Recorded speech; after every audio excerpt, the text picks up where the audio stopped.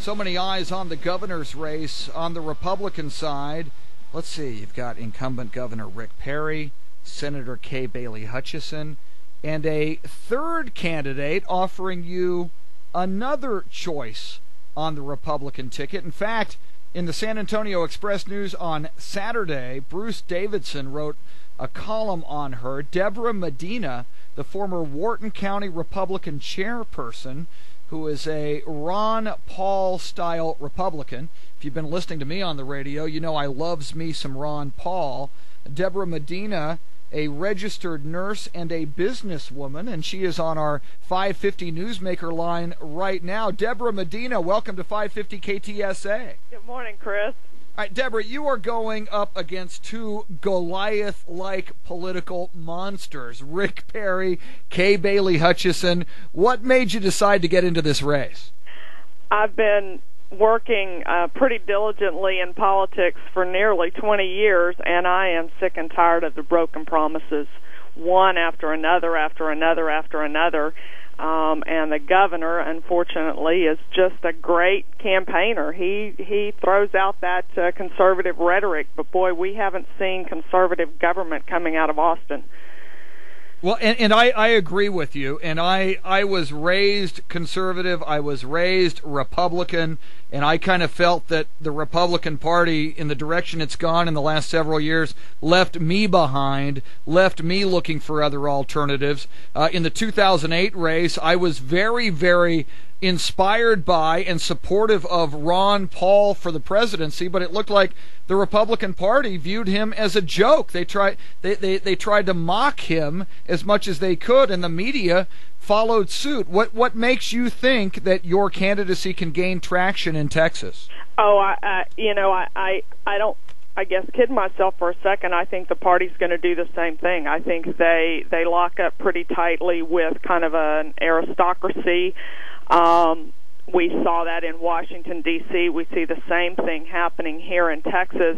Uh, but this is a people's race. This is a race where, you know, I've been all over the state and the grassroots in Texas is very united. We are tired of the big spending and, and certainly the Tea parties have evidenced the frustration with Washington, but I'm out there telling people it's the same thing in Austin, Texas. We've gone from 12 billion dollars worth of debt when Rick Perry took office to 31 billion now, and Kay Hutchison is going to be no different. She's going to bring that Washington insider uh, spend, spend, spend. It'll fix all of our problems to Austin. That's not the answer. We need true limited government, conservative elected officials in Austin.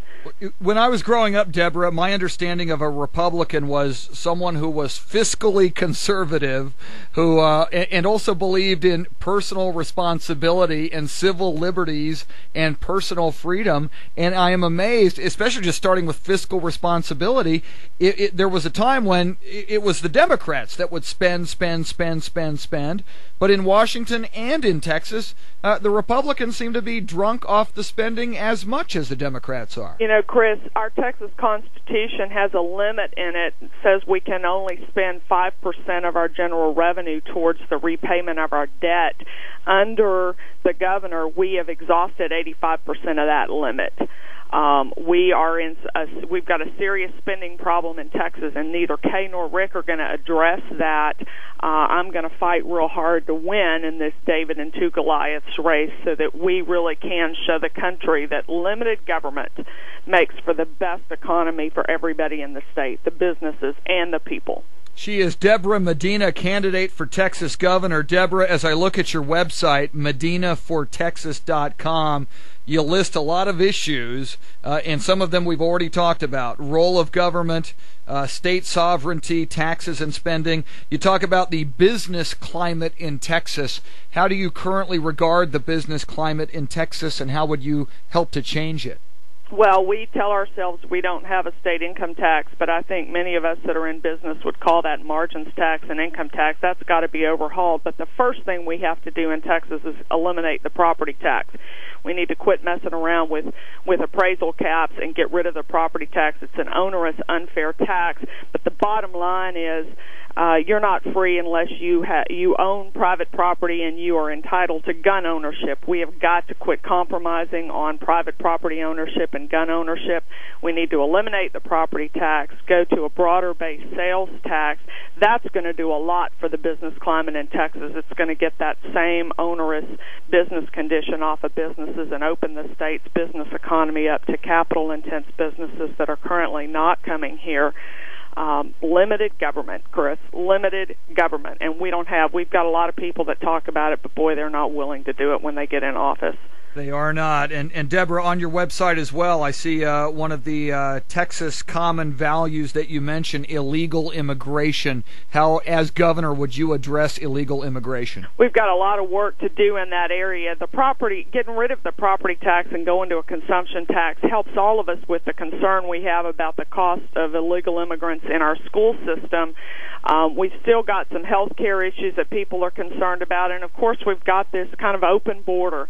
We're working with a number of coalitions around the state to identify the best measures to strengthen that, but it seems that everybody believes if we would stop some of the social incentives, the free health care and the free education, uh, for those folks that are coming in illegally, we would we would severely uh, reduce that number.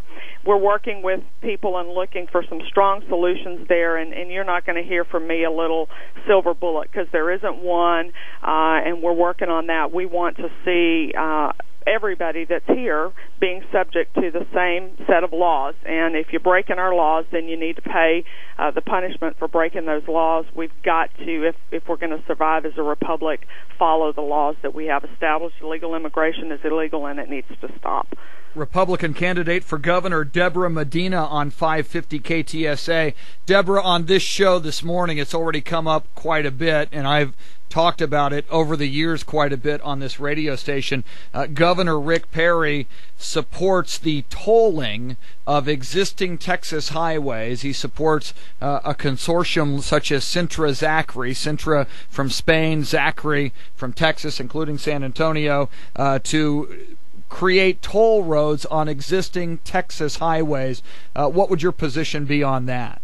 Absolutely, no toll roads. You know, he keeps telling us that he's gotten the message, but he sure stuck st- snuck those CDAs into the call in the special session. So even as recently as early June, he's out there trying to, you know, sell it to us in incremental bites that's not the way to provide for transportation. TxDOT is certainly um, a state agency out of control. We've got work to do there to overhaul that agency, look at its efficiency, uh, work with regional authorities to find transportation solutions that work. There is no one size fits all, but but tolling is not the answer, and certainly not tolling existing roads um, and taking private property from people.